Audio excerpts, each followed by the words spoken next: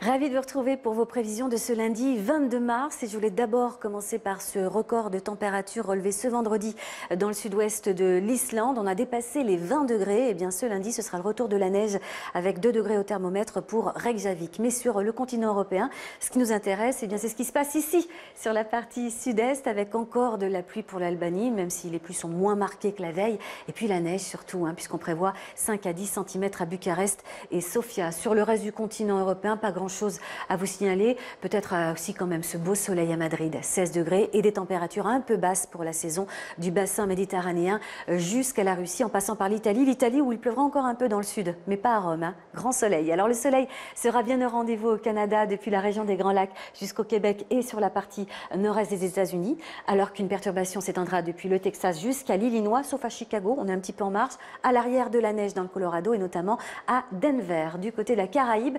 Oh, c'est pas mal, un petit risque de pluie possible euh, en République dominicaine, à Saint-Domingue, peut-être aussi en Jamaïque, mais pas à Kingston. Amélioration avec le retour d'un temps sec à Santa Cruz, Salta, Asunción et Porto Alegre, alors qu'en allant vers le sud, eh bien là, pas de changement avec toujours beaucoup de soleil, si ce n'est que les nuages s'annoncent un peu plus nombreux que la veille en terre de feu, et notamment à Ushuaia. Toujours quelques averses orageuses dans le nord de Madagascar, euh, des averses qu'on va retrouver aussi euh, sur les îles Comores et même aux Seychelles, on ne s'est pas exclu.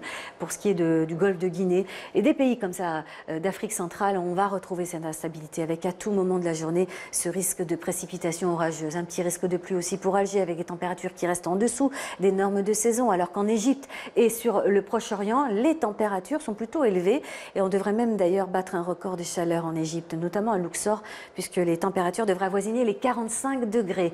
L'humidité sur le golfe de Thaïlande va remonter jusqu'à Bangkok, donc là aussi des averses probablement orageuses, une situation qui reste critique, assez exceptionnelle sur la Nouvelle-Galles du Sud et l'Est du Queensland avec encore des pluies abondantes qui pourront entraîner des inondations et des glissements de terrain, une situation à surveiller.